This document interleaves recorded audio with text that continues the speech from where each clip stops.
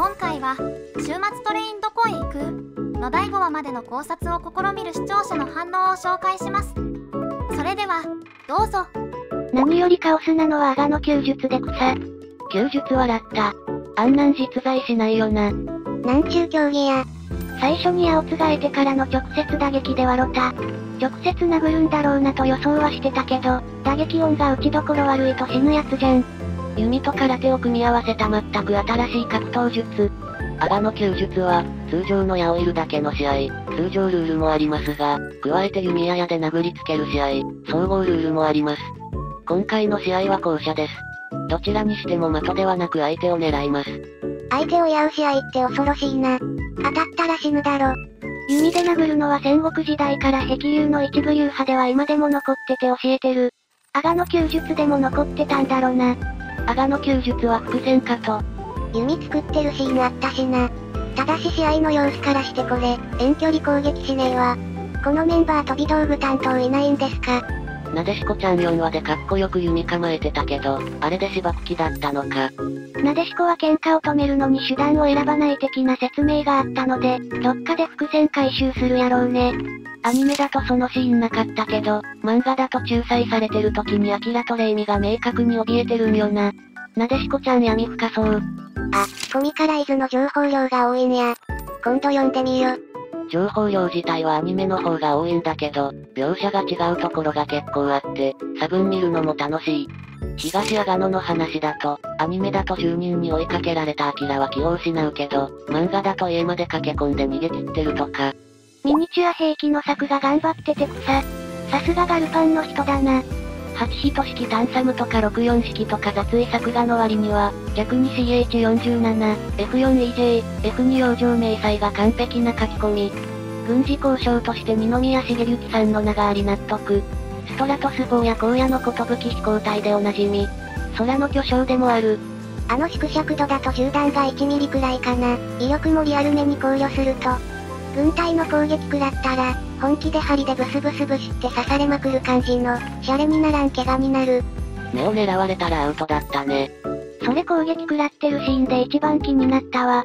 俺が同じ状況になったらまず手で目を守る。いやもう逃げなきゃやべえ。通常兵器は役立たずなのに麻酔弾だけ有能すぎんか。でかい人間が攻めてくること想定して開発したんかな。あの麻酔弾って着弾するとガスでも出てるのかな通常兵器が外皮の硬さで通用しない場合、体内に何かぶっ込めは怪獣映画あるあるだし、それならまあ。セブン G5 の世界ではゲーセンを動かす電力みたいな余分な電力は、自家発電でないと賄えないというのが改めて分かったな。ぶっちゃけ映画ドラえもん、のび太のリトルスターウォーズだよな今回。ガリバー旅行記やキングコングならわかるが、ドラえもんをパロったところあった？リトルスターウォーズがアメリカ映画のパロディだらけな作品だけど、監督は新鋭動画出身でドラえもんにも関わってるし、意識してる可能性は割とあると思うよ。監督がしれっと、西武池袋線の住民だけがセブン G の影響を受けたってこと言っちゃってるな。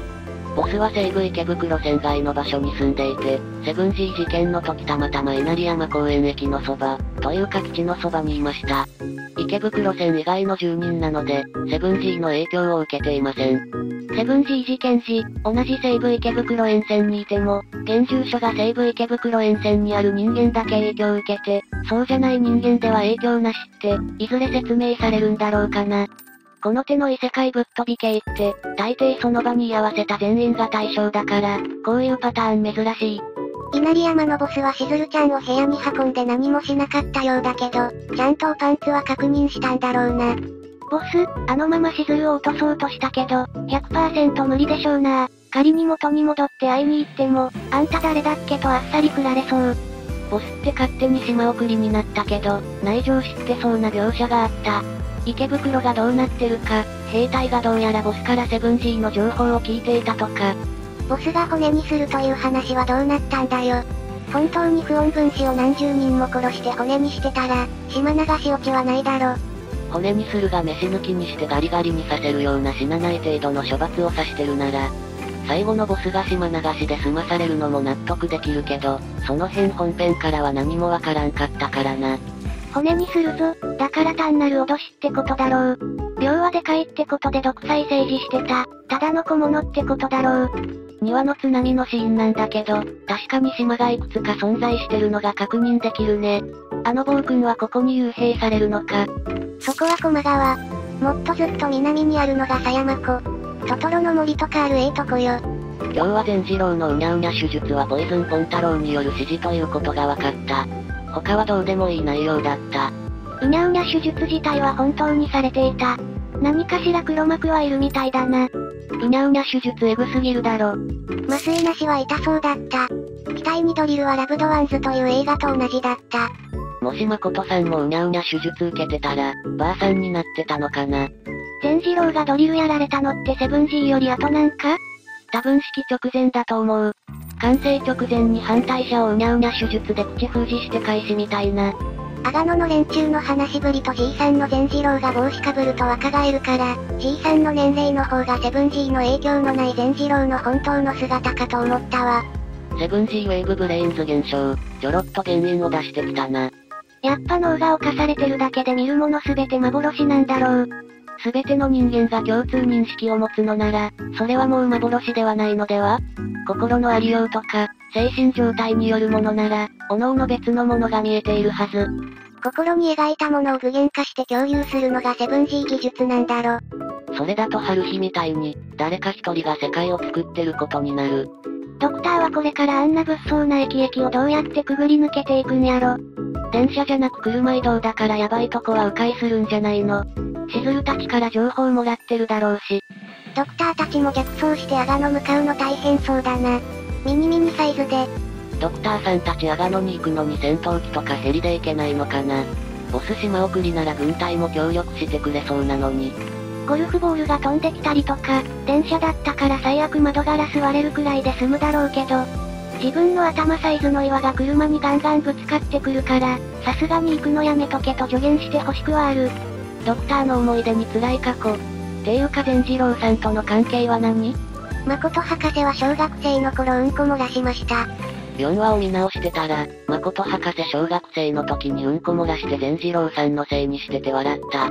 友人から夢を馬鹿にされた話を聞き、陽花を思い出して泣いてるしずる。しずると陽花の喧嘩の原因。しずるが陽花の将来の夢とか馬鹿にして喧嘩か。陽花が悲しそうな顔してる。まだ話が見えないんだけど、壊れた世界を直すとかの流れになるの？陽花との壊れた絆を直す旅だよ。津波が起きたのは、4人プラス1匹が引き返そうとしていたから、それを引き止めるため、陽花は遠くで見ている。ゴーヤがめちゃくちゃ成長したのはなでしこちゃんがグリーンサムで、食料不足を補うため、陽花は遠くで見ている。陽花ちゃんは4人プラス1匹が来るのをリアルタイムに観察し、みんなの到着を待ち望んでるような気がする。メカニズムはわからんけど、多分陽花が見守ってる。先のわからないオリアには色々展開予想できてやっぱ楽しいね。ポチさんがセブン G 効果で逆に人間になってしずるたちのピンチを救ったり、陽花との和解に一役買う場面がもしかしたらあるかもしれないとか、あれこれ想像してしまう。0.0味は切れたら前後の見境つかなくなるのか。キングコングレイミよかった。ま単語の次はキングコングかよ。通過レイミは五感最強で身体能力最強はシズルだと思ってたんだけど、レイミが最強なのかよ。正直理性なくして大暴れしてるだけだったし、ガチで戦えばシズル圧勝だろ。ただこの設定は今後の話にも出てくるな。これから戦闘よりの話が続くかどうかは知らんけど。まあ身体能力がダントツでレイミシズルは確定したけど、そもそも格闘術極めてないんだから、ガチ実戦じゃわからんよね。チヌークのローターに縛り付けられてた時、しずるちゃんのアガの柔術マジヤバいから、あたしもなんかヤバいからと言ってる。それ聞いてて出川哲郎かよと思った。プロペラで回ってもパンツは見えないし、スカートもめくれないな。見えるぞ。いつも悪態ついてるのに、心の中ではレイミちゃんを信頼していたアキラ。尊い。アキラは悪意があって教科書食わせたわけじゃなく、冗談で言ったら本当にレイミちゃんが食ってしまった。本音ではレイミちゃんのことをピンチの時に助けてくれるお姉さんだと思ってる。レイミはアキラからもらった大切なブレスレットを壊されてブチギレた。レイミとアキラは1話目からずっと喧嘩ばかりしてたけど、内心、レイミはアキラを可愛い妹分、アキラはレイミを頼れるお姉さんだと思って信頼してる。前回と今回書かれていたのはレイミとアキラの友情。そして、週末トレインのメインテーマは友情。しずるとようか。レイミとアキラ。次はついになでしこか。なでしこちゃんはみんなのまとめ役っぽいから、3人が仲間割れとかする話かな。本を食べさせると自我が戻ったって、これ伏線。多分今まで起こってきたことは人が考えた想像が具現化実体化してる。思い込みが原因の病気を思い込みで治すってのは伏線っぽいよな。今回の本食べて治った、監督曰く修復されたアキラは、帽子かぶって一時的に若返る善次郎と似たような現象だろうな。おそらくつまり、昔の思い出に類するもので人は修復されるのだろう。では銀梅化は、それを必要とする意味は、セブン G5 の世界でしっかりと星が見えるかどうか知らんが、銀梅化を二人の約束の星、シリウスの代わりにでもするのかね抜いたえのきの代わりに本を食べさせることで、アキラの知識が戻ったように。渋沢達彦の黒魔術の手帳はロタ。渋沢達彦といえば、東西不思議物語が結構面白かった。その方面の人間に、というか、読む人を選ぶ。渋沢達彦からドール沼にハマった奴は多い。俺も昔は渋沢達彦にかぶれたものだが、彼が翻訳した佐渡の小説は何が面白いのかさっぱりで、全然読み進めることができなかった。多分アキラもサブカルファッションで、持ってるだけで読んではいないと思う。